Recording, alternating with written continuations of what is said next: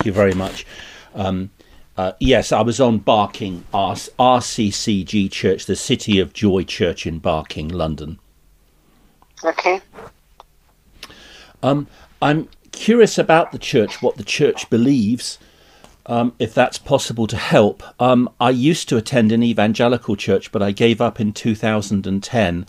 I do not agree with tithing. I don't think that Christians are under some obligation to pay a tithe today, and I noticed that that was very strong in the evangelical churches I did look at, um, although I gave up, as I say, in 2010. Thank you. That's all. We believe in tithing, but we don't force anybody to tithe if they don't feel able to tithe. Um, so, do you do you believe it's taught in the Bible for today? So, you know, a person is basically sinning or disagreeing with the Bible if they don't pay a tithe? I believe that people are entitled to hold on to their beliefs and their opinion, but as a church, we believe that children of God should tithe and should commit to being a part of the church in that way. Right.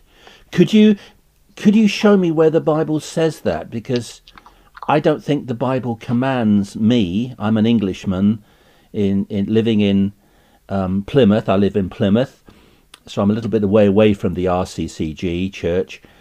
Um, I'm living in the year 2021. Are you that there's there's no RCC church in Plymouth where you live? I don't want to believe that. S- sorry, I beg your pardon. I said, do you think there's no? Are you saying that there's no RCCG church where you live? I don't think there is. I found many in, in London, including yours.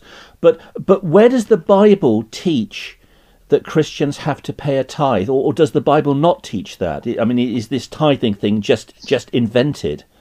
Which I would say I think it is. I think it's just a man-made doctrine that's been invented, to, you know, to get to get money off people.